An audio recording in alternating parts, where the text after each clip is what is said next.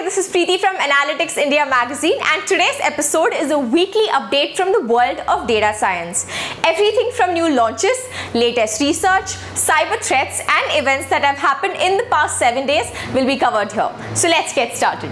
Coming to the first news, Google's AI powered flood alerts now cover all parts of India and some parts of Bangladesh. In late 2018, in collaboration with the Central Water Commission of India, Israel Institute of Technology, and Bar Ilan University, Google piloted a flood predicting model in portions of Patna, India, as part of its flood forecasting initiative and after expanding it last year to target more than 11,000 square kilometers along the Ganga and Brahmaputra rivers, Google today announced the model will inform alerts for all of India covering 5 lakh square kilometers and over 240 million people. Moving on, Emotion AI startup Entropik raises $8 million in Series A funding. The company shared its plan to use the funding amount to expand its presence in other geographies including the US, Europe, SE Asia while leveraging Abu Dhabi as base to scale in GCC MENA markets.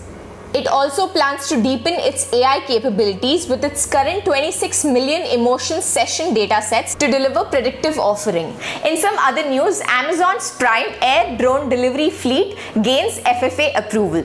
Amazon has been granted an approval by the US Federal Aviation Administration that will allow it to start trailing commercial deliveries via drone. And while it doesn't mean that Amazon can immediately start operating a consumer drone delivery service for everyone, but it does allow them to make progress towards that goal. Moving on to some news related to space, Rocket Lab secretly launched its very first satellite, the First Light.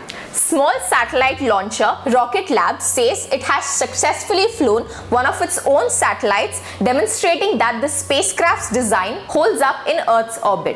It's the first time the company has flown its in-house cylindrical spacecraft known as the Photon which Rocket Lab hopes to sell to customers for use in ambitious deep space missions.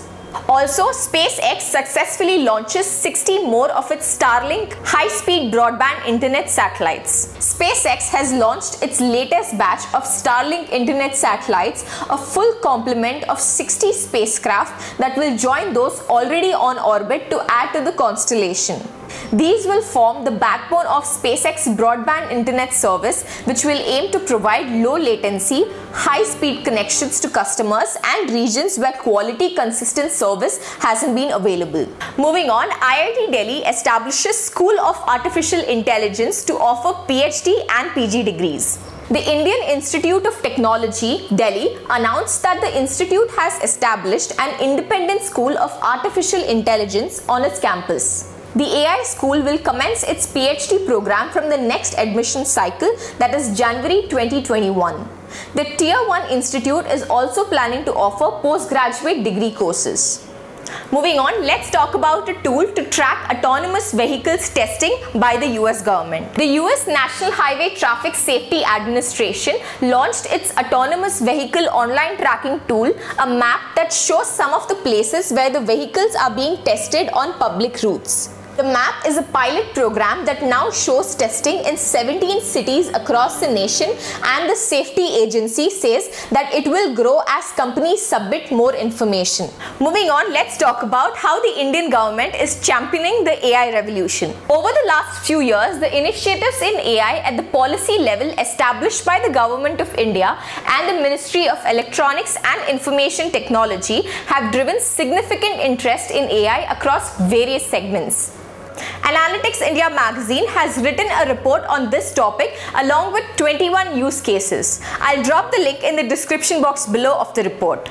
WhatsApp reveals six previously undisclosed vulnerabilities. Of the six new vulnerabilities that WhatsApp fixed, four were in WhatsApp for Android, two of which were part of its iPhone client, while the other two were specifically related to versions of WhatsApp desktop. Coming to the last news, cyber threat startup hit by ransomware. Irony struck at a startup, Boston based security software company Cygilant, after being attacked by ransomware.